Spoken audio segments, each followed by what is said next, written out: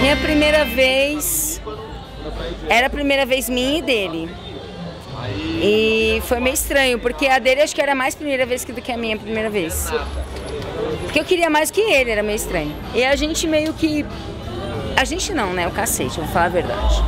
Eu queria muito, ele era muito virgem e ele não sabia se queria, e eu queria, e ficava, ficava naquela putaria.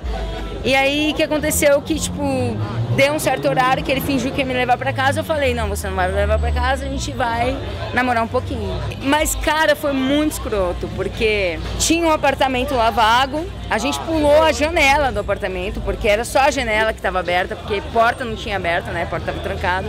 E a gente pulou a janela do apartamento e entramos no apartamento, era todo de, de, de, de como que é o nome? De carpete. E foi ali, no carpete, nós dois. Foi horrível. Doeu. Meu joelho, principalmente. Porque se eu não fosse pra cima, ele não iria.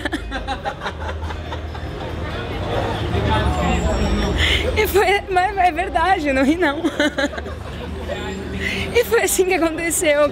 Foi muito ruim, cara. É sério, a primeira vez não é legal. Faça a segunda, a terceira, mas a primeira nunca faça. E nunca façam em cima de um carpete. Machuca o joelho. É uma loucura.